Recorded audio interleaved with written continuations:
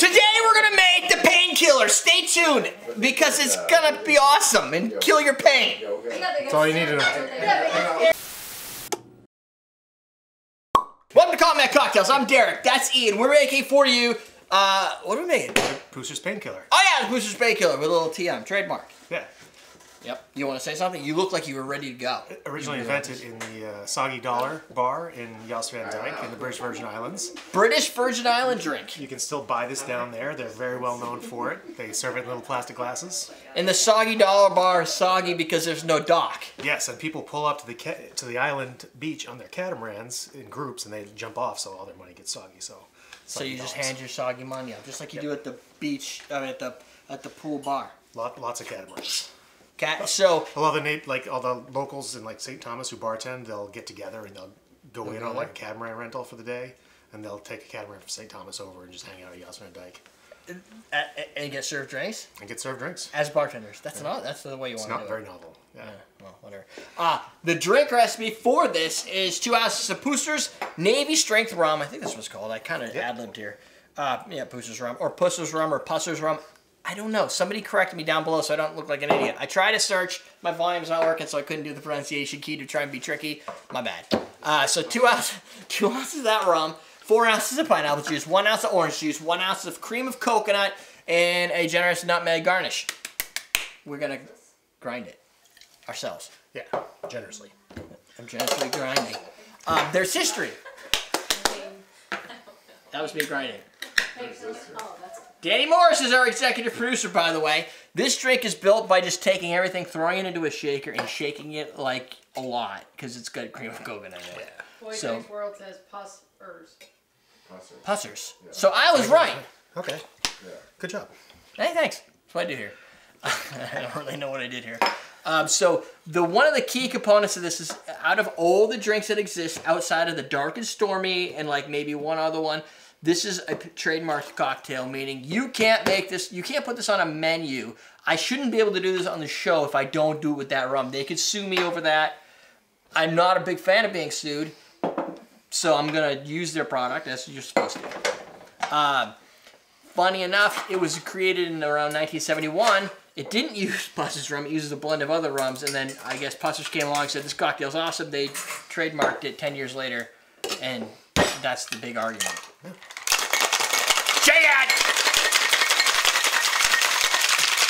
15 seconds. 15 seconds! That way I can digest all those words. There you go. Gives you a chance to repeat them. Yeah. Um, oh, let's see. Yeah, so Jeff Beachbum Berry is the one who said that all that stuff about the, the rebranding. So they rebranded it. Anybody who argues it, I guess, could say, well, this was a pr- prior prior art. I don't even know if that's a thing. Don't you want? Do we do uh, ice to Do it? you do ice in this?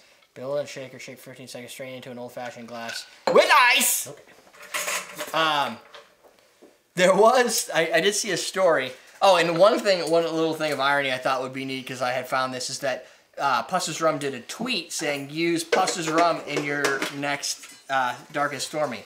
The irony there being you can't do that. They shouldn't be able to get away with Well, how did they spell dark and stormy? Was there? Yeah, if there's not an apostrophe n or whatever, you, you can get around it. You can just use the word and Yep. to, to kind of get around that. Um, there was a uh, a painkiller bar, I think in New York, that had a painkiller on their menu that wasn't using this. They found that some other rum worked better. They liked the taste profile better. They did that. These guys found out.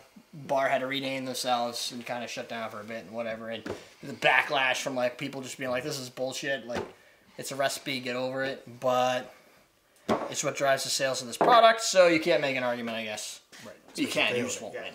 And it costs these guys a lot of money To enforce. to it. enforce this. Just like Coke. No, that comes over the border from Mexico. Well, it costs them a lot of money. Yeah. No, just buy it. Does that make it right? It's got rum and coconut and stuff in it. It's like Yep, it's perfect. Can't go wrong. it's Can't like go wrong with it. Yeah. a sweet.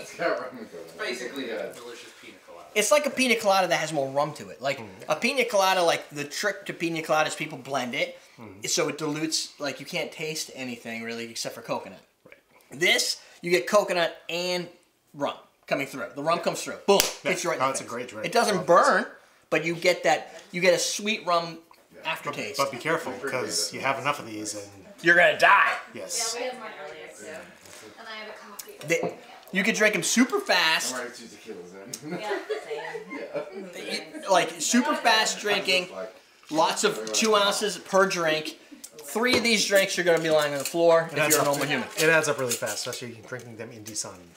Yeah, always drink them in the sun, or is that not a good thing? to Well, do? when you do, the, the combination of the alcohol and the sugar is rough. Yeah, top that off for me. Well, I spilled some, but that's okay. We'll just make more. Hey, wanna? I need a. I need a. We, we need to fold another corner of this twenty dollar donation we have. You can go to Patreon.com/cmc if you'd like to donate to the show, or you can go to EverydayDrinkers.com/tip if you want to just leave a one-time donation. Boom!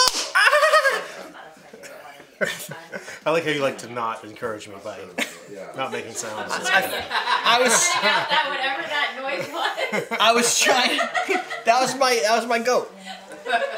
Actually, they they would sound more like "Meh," like a human. The goats are weird. Human goat? Yeah. Oh, you have to look up faint. Oh, you need to question the oh, day. Oh, Have you seen a? Have you ever had a chance to see a fainting goat? Dude, it's hilarious. They are hilarious. They just fall over. They, if you scream, they fall over dead with their legs hanging up in the air. Scare them. They fall It's a self-defense their up. mechanism. Yeah, It's hilarious. it's hilarious. Been on the internet. Can I go ahead and make another one of these? Just finding these videos. Derek, sure. Derek's dad Should I us go ahead and make another one of these? Yeah, probably. Last weekend. Um, that's not really a good question of the day because everybody should answer yes to that, or you should go find yourself a fainting goat, Google it, YouTube it, whatever you're on YouTube, just do that. Um, that's awesome. so a good question today: What's your favorite beach style cocktail? These recipes, by the way, are all being what? Make another one of these. It's in my fridge. I've seen a girl dressed up in a goat costume. That's a different part of the internet. Front part, Dan. Go to recipe Does it involve script? awesomeDrinks.com. You could we'll be able to get this recipe and at least 120 other recipes because I've been like freaking cranking them in as fast as I can. I made a database. It's got data in it, and it's all about getting more data. Sounds it. like it's on the right track. So I'm trying to build a database that has tons of cool stuff in it, and it's all curated by me, and I decide what's good and what's bad. In most cases, what I do is I go back to old videos, I listen to what we say. Sometimes they could be 11 minutes in before I find it, but I listen to what we say, and then I say, okay, that's that's a good drink, and I post it out there. And then if it's like this, we hadn't made it in a long time, I didn't have a good photo for it. I'm making these photos, I put them on there, and then link this video over to it. There you go. So you'll be able to find all those at recipe.awesomedrinks.com. Um, that's it. I think. I think we're good. Yeah, I don't remember if I actually asked the question. Yeah. Favorite beach cocktail. Sidebar. More videos down below. AwesomeDrinks.com. You can use coupon code. Uh, well, I'm going to stop that. Use coupon code. Uh, the, fuck, it already came up. It's like, um, I, it's something. It's, there. It's not written on the board. Why did so I fucking write? There's a coupon code. We're teaching you how to drink.